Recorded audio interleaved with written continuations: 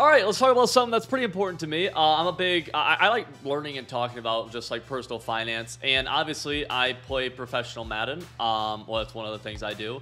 And so I want to talk about kind of the finances of professional Madden, what goes into that. And I actually have a Twitter thread um, for about two weeks back uh, talking about this. So we're just going to expand upon this a lot, okay? Um, and the reason that no, no, nothing I'm saying here is supposed to deter anybody from wanting to play Comp Madden. I think Comp Man's awesome. I think there's a lot of really good things I'm going to go into uh, when it comes to playing Comp Man that I think reasons you should. But I think it's dumb to go in blindly and say, oh, I'm going to become a professional Madden player, and that is what I'm going to do full time um, for however long. I think it's I think it's very stupid. So I just want to offer a different perspective and really talk about this. Again, this is something I'm a little bit passionate about. Uh, so the spread starts out. Uh, if you want, if you really want Comp Madden to be financially worth the amount of hours you have to put in to be great at the game, please make some kind of content. Your return on investment on each hour invested is 10x unless you're like one of 15 dudes. Basically, what I'm saying here is that the top 15 dudes, or so give or take, um, over the course of a few years, can make only playing Comp Madden worth their while financially. Like they'll make a good amount of money from it where it makes sense. Your return on your investment on each hour invested is basically me saying for everybody else, the amount of time that you put in in terms of labbing, in terms of scrimmaging, in terms of actually playing tournaments, in terms of team building, all that stuff, uh, watching film, any of that stuff that goes into Comp Madden is significantly worse than if that time went into you streaming if that time went into you making YouTube videos, whether it be TikTok, whether it be even make you know trying to grow your Twitter presence, whatever, whatever, Discord, whatever it might be. That's what I'm saying. I, I'm basically saying that the return on investment per hour for competitive players is really, really, really low. Um, we'll go into that a little bit more here. So I, I continue to say, especially assuming Electronic Arts keeps the trend of only top 8 finishes making any sort of real money, plus only the top 8 getting EA stream exposure. I'd love to see a tourney this year with a chance of 32 people to get on EA streams, but it's unlikely, right? So basically, a couple years back, competitive Madden used to have something called clubs, which a lot of you guys are familiar with, um, and you'd basically have 32 people who would get stream time. Actually, at times it'd be 128 people even.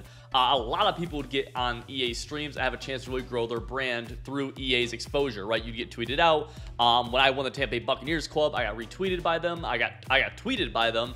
Um, I was on some EA stuff, etc., etc., and that was for making the top 32. I was actually even on stream uh, in the top 64 of that as well. Now it's basically across the board top eights, meaning that to get any sort of big time exposure, now you basically have to make a final eight of a tournament, which is possible, but it's very hard.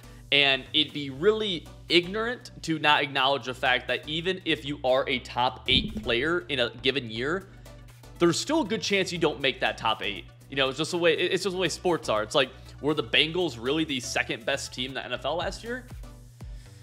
Ah, they could have easily lost to the Titans in the divisional round, right? Like now they, they, had an awesome run. I, I, love Joe Joe Burrow, but I mean it's just being realistic. You know what I'm saying? Like they easily could have lost in divisional round and nobody would have known. It's the same idea here, right? Just because you have the potential to be top eight doesn't mean you are top eight. Is basically what I'm getting at here. And so this is kind of me just being upset about the fact that EA is not doing comp players any favors with this format. Now, I will say it's rewarding the top eight people a ton because they are making a lot of money um, being top eight. I think it's all the way through top 16 is a good amount of money um, overall uh, on a year-to-year basis.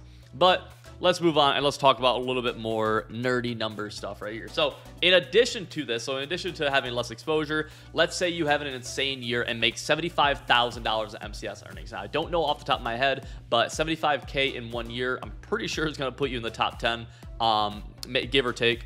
Let's say you make another 25,000 in money games and CFMs. Okay, so 100K you made in a year. That is an amazing. That that's a insane year. You are you are you have some dog in you. You making 100k. Okay. After taxes, that's about 75k. Yes, unfortunately, taxes are real. You, the taxes are real. Um, that is a top 0.0001% a year. And being a realist, like realistically, again, even if you're that dude, you won't make that amount of money next year. It's very unlikely just because the game's too fluky. You know, that's why um, that's why saying every single year you know, teams are so grateful to get make it to the Super Bowl, and you can't blow those opportunities like again the Bengals because you don't know when you'll ever get it back. I just got a notification on my phone, so my attention uh, just kind of went away for a second. So if one year you make 100k and the next, which is a very good living, and then the next year you only make 25k, so you, you've, you've made 125k total, which 25k in a year is still solid. Like it's still solid in comparison to everybody else. That's 125k over two years. Cut it in half, and it's what 62.3 or 62.5. Um, and it's like, oh, that's not nearly as much as 100k. Still good though, but continue on just to just to kind of get that point, or just to kind of give that give that insight. To add on to this, I'm just rambling at this point. Again, this is from June 29th. Um, let's say lives are top eight only. You make a Cinderella run, but lose off a fumble in the round of uh, the round of 16. If you don't have any sort of platform, nobody knows this.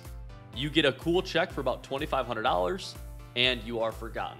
And this is one of my biggest issues with them lowering the brackets from 32 people getting exposure to only eight people getting exposure.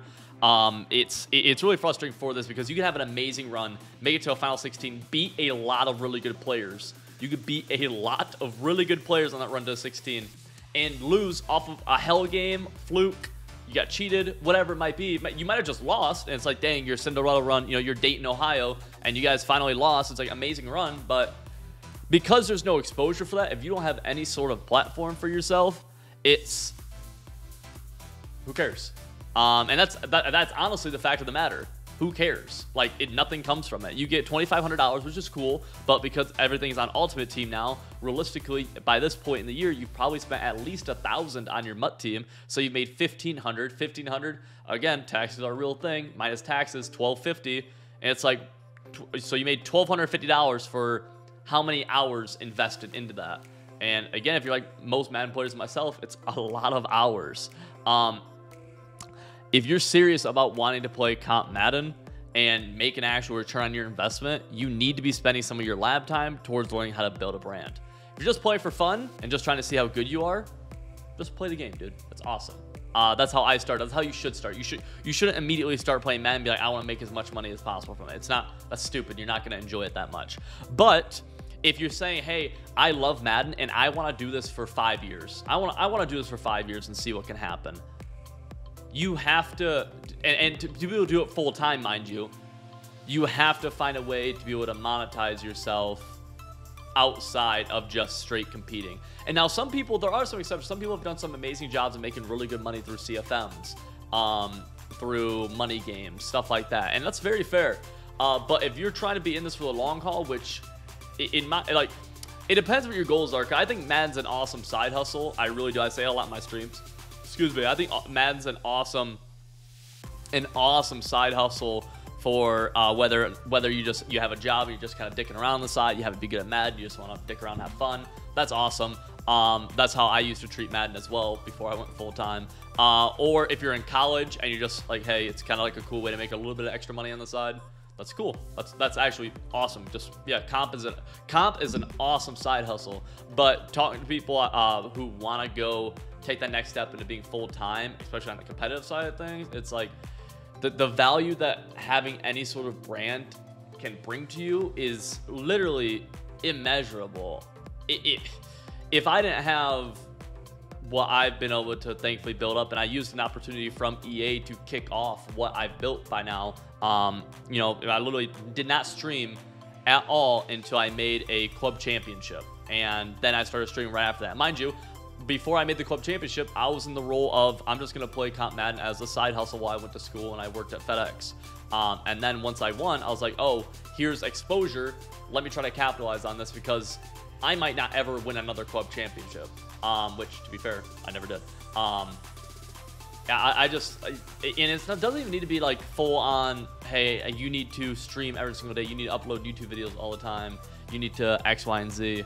I even streaming sometimes stream stream a turn stream weekend league dude like if you're gonna play weekend league i'm being dead ass if you're gonna play weekend league and you are really good at the game right you're getting 20 plus wins in weekend league there's no reason not to stream it. There's a bunch of awesome streamers who literally started out that same way, who have grown into being pretty known figures in the community. Um, like I started out streaming, I believe, for the most part, like my DC ladders. My uh, draft champions was a was a tournament in the MCS in Madden 20, and you had to qualify for it.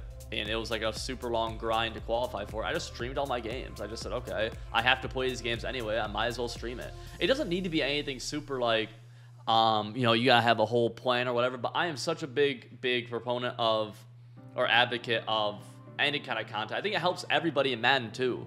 That, that's why you see some of these boxers. I'm trying to think. Uh, it's Ryan Garcia who's a huge, uh, who's a big boxer. He works a lot with like the Logan Paul guys and you see him building up his you see him purposely posting youtube videos and being big on Inst- or and purposely taking instagram seriously. And the reason isn't because he loves making youtube videos. That's not why. He loves fighting. He's he's talked about it. Um, i believe that's his name ryan garcia. But all of that stuff makes when he does fight so much more of a big deal, which ultimately ultimately only benefits him. And God forbid if for some reason he can't, he doesn't want to fight or can't fight, whatever, whatever. Um, he has an opportunity to continue being in the boxing scene full time, full time, and be able to do that. Whereas if he took a different approach, a lot of boxers uh, fighting in this instance is a great example actually, where they you know, they, they only hone in on their craft. They only focus on boxing. And when they're done boxing, they're done boxing. It's like, okay, well, what do you have to fall back on now? What do you, what do you do? You know, what, what's that next step? And again, it depends a lot on your goals. I don't want to like tell any, like, you know, I, I, I definitely like people, dick, like, if you're just dicking around the game, having fun, playing it as a side thing, absolutely, just have fun with it, dude. Um, that's, again, how I literally started. Um, but if you like want to take the next step and like be, especially you want to take comp seriously, like you were like really saying, hey, I want to take competitive Madden seriously. I strongly believe that you should, you have to begin to even just try to stream. Just try try to tweet. Try to tweet. Try to do anything. Get your get your name out there a little bit. It'll benefit you so much. Um, again, if I wouldn't have started streaming after I won my Bucks Club, uh, which again I came from the position of just doing it as you know dicking around, and I want to. Uh, I just happened to win Bucks Club. Um, if I didn't come from, like, if I didn't start streaming, I would not have a YouTube channel. I would not be streaming still. Um, I would not be doing anything. So it's just worth it. It keeps your options open. I'm a big, I'm a big advocate of keeping your options open, stuff like that.